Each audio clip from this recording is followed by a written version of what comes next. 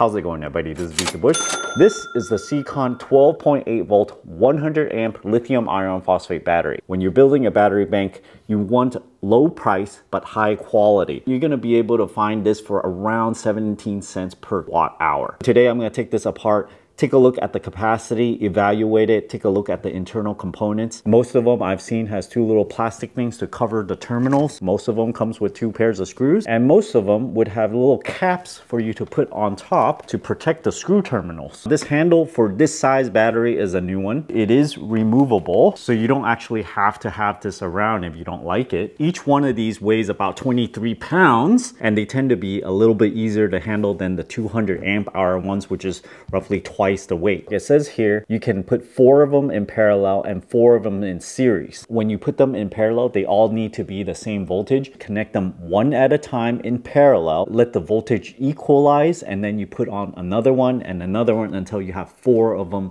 in parallel. When you put them in series, first one would go negative, positive. Second one in series would go from positive to negative and so on and so forth until you have four of them. You might be tempted to buy four of these and make a 48 volt battery, but in my experience, I had the bigger 200 amp hour 12 volt batteries and I put two of them in series and I made a 24 volt system. I started with both batteries at equal voltage, but after a couple of months, they differ by about 0.3 volts.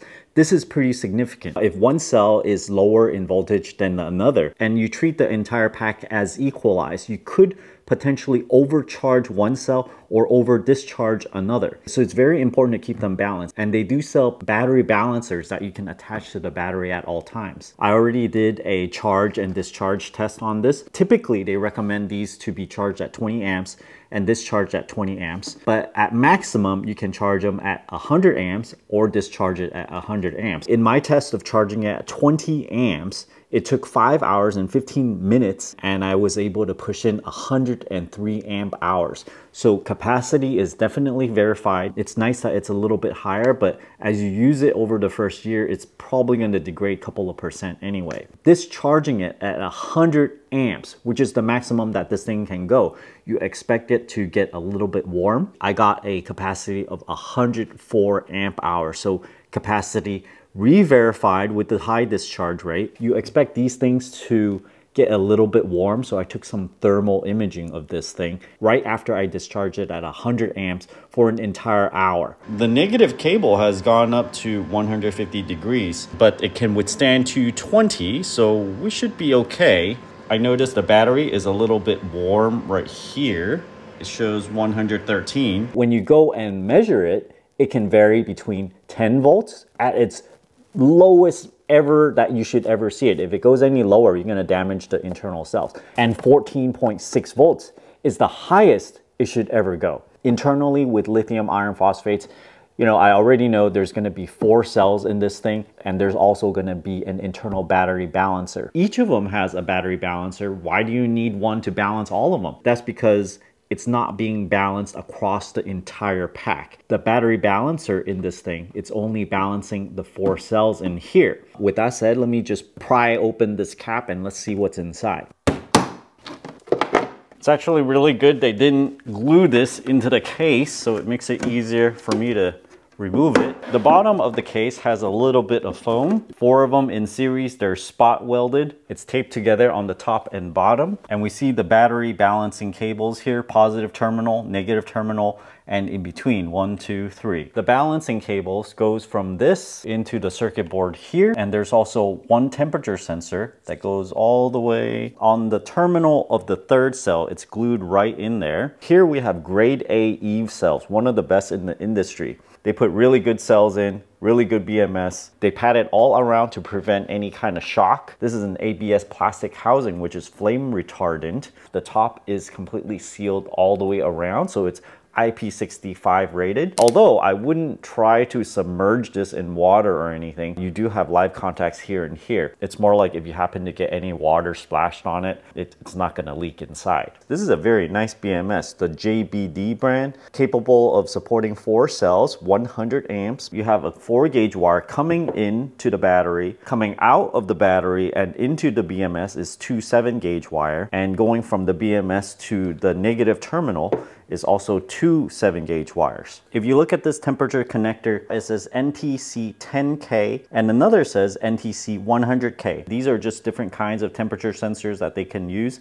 NTC stands for negative temperature coefficient. So the hotter it gets, the lower resistance they will be. We can measure the temperature probe here. It says 10.45. I'm gonna blow my breath on the temperature sensor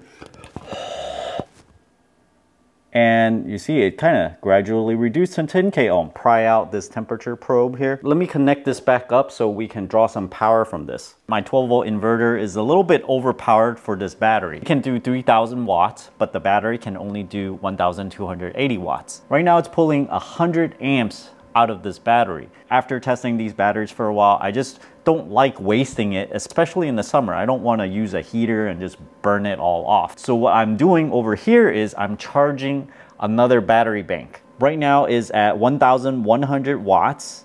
I can bump it all the way up to 140 amps. I removed the temperature probe. I put it back right here, but that's not gonna be the thing that turns it off because right where the temperature probe is, is actually really cool. 85 degrees Fahrenheit.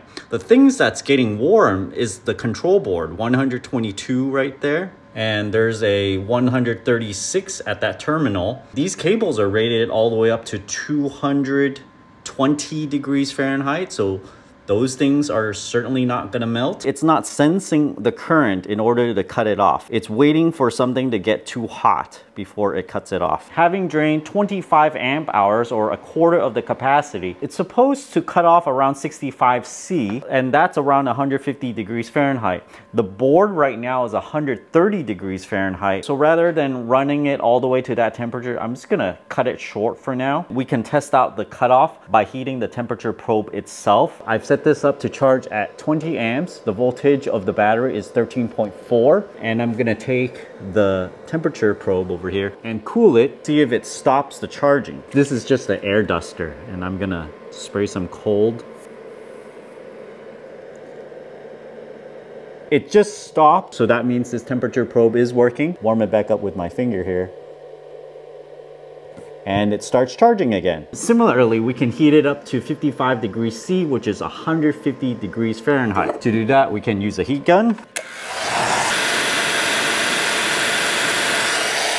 Right there, it turned to zero we cool it down with my finger again, it should start up again. So temperature probe, at least this one is working. There's always another one within the circuit board itself to measure the temperature of the circuit board. So if I ran it really hard, discharge at, I don't know, 150 amp, 200 amps or so, we might be able to get the temperature of this thing high enough in order to make it cut off. Usually batteries of this size does not support trolling motors or large inductive loads. Officially it has 100 amp BMS, but it doesn't really cut off based on current. It cuts off based on temperature of the internal BMS. And based on my previous tests, I ran it 30% over capacity, which is 130 amps or so. It ran for minutes. So now let's make some milk tea. I have a pot of water I want to boil. Let me turn this on. It's doing 100 amps already and then I can turn on this hair dryer.